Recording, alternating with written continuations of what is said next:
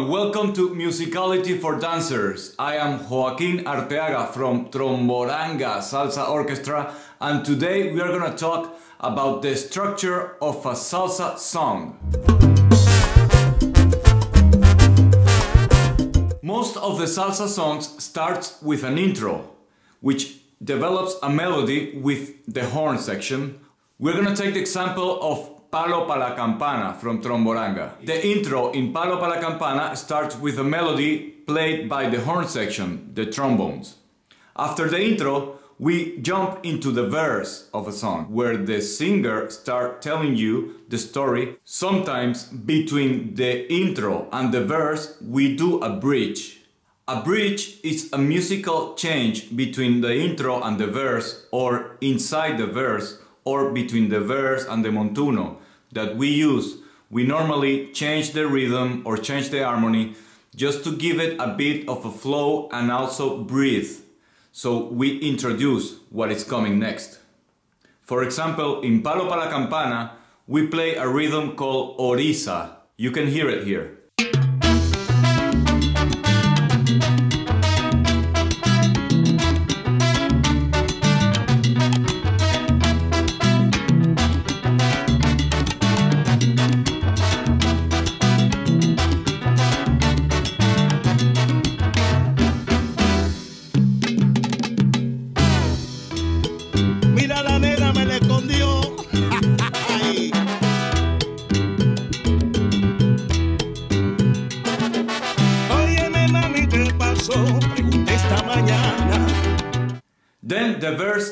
Starts. So the singer is starting to tell you the story about, you know, this man that has a bell and his wife is always hiding the bongo bell from him so he doesn't go out and play it in the parties. In Palo pa la Campana, if you check it out, we have a little bridge before the verse starts and then in the middle of the verse we again play the same bridge to let it breathe. And then when the verse is finished, we also have a little bridge where, is, where the chorus is gonna start to play the montuno. Mami, ¿qué pasó? ¿Dónde está mi campana? Y anoche me fui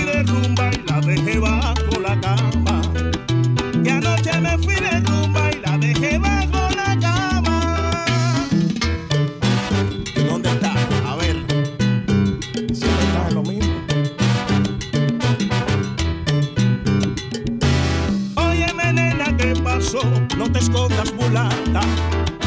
Óyeme nena, ¿qué pasó? Es que no tienes ganas. La gente la está viviendo y tú la escondiste mulata. Aquí yo tengo el palo y me escondió la campana. Yo tengo el palo a pegarle a tu campana. Yo tengo el palo para la campana.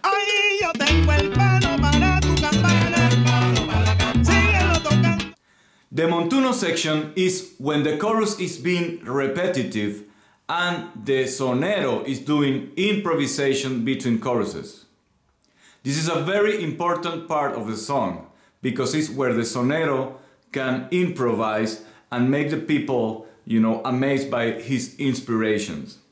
This is very important because there is a difference between a singer and a sonero. A singer could sing and could repeat anything he learned, but a sonero, it's always improvisating depending on the chorus and what is going around him.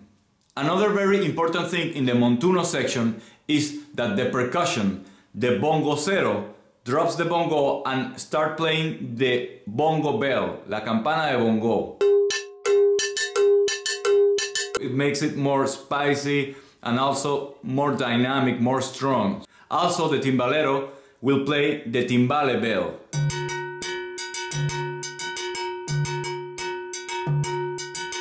So we have the bongocero playing the bongo bell, the timbalero playing the timbale bell, and the conga player will be playing conga and tumbadora.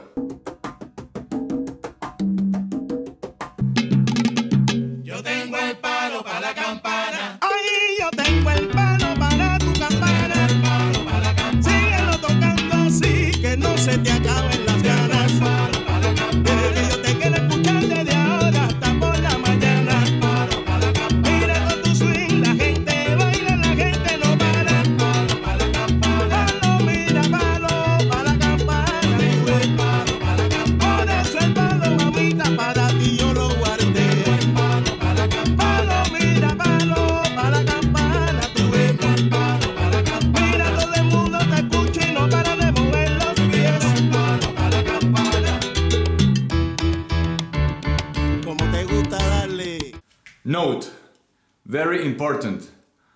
We Latin people use sometimes the same word for different things.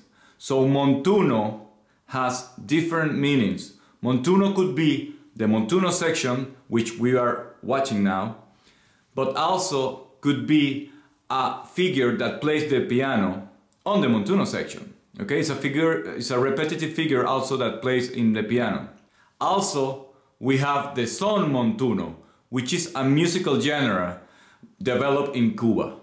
So it doesn't matter if it's mambo, timba, salsa, son, whatever. There is always a montuno section on a song. Then, always in a salsa song, we have two options. From the montuno, we either go to a mambo, which is a mambo section, not the mambo musical genre, which is a different thing. Okay? We go into the mambo section, or we are going to a solo of an instrument of the orchestra. In Palo pa la Campana, we go to a mambo section.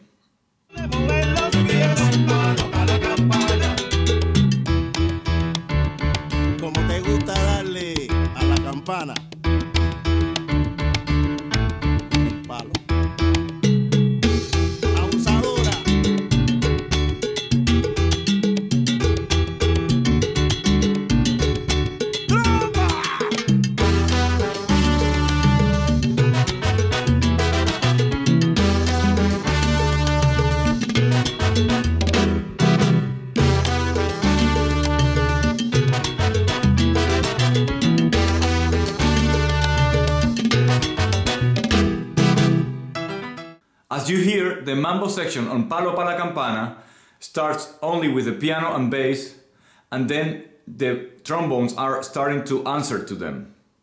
This is a typical mambo section.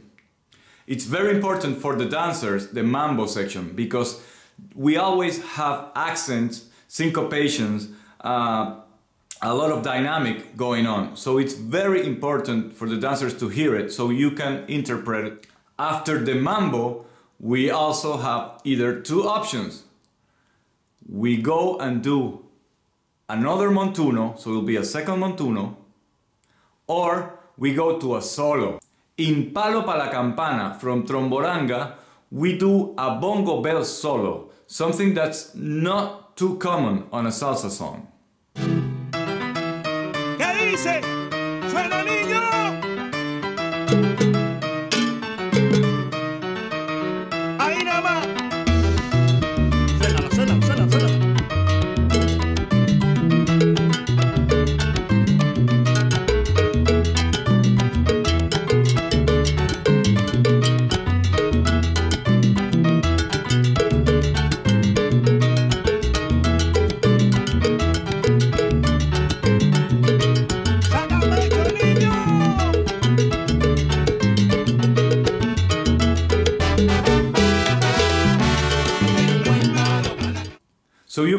The bell is doing a lot of off time, syncopations, and playing around with it.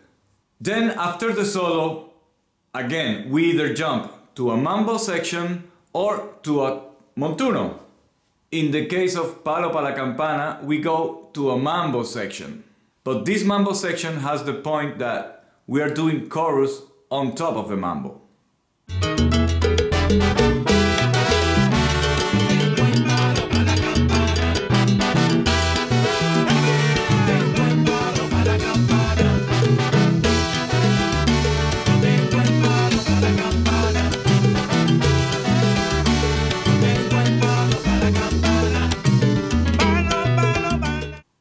After the second mambo, we jump to a second montuno.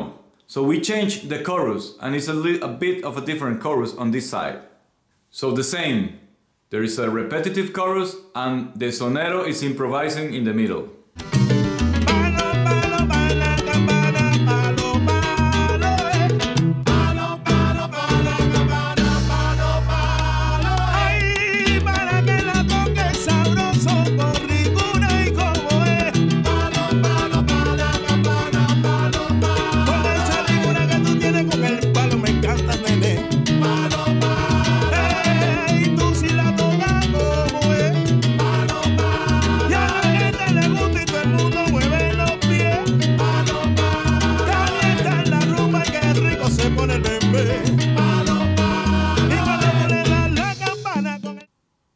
After this, the final part comes, or what we call the ending and the coda.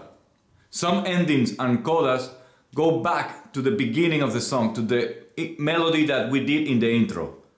But in Palo para Campana, we stop all the harmony and we only leave the percussion section playing and the chorus going all the time. So we make it a bit raw, like you're playing in the street.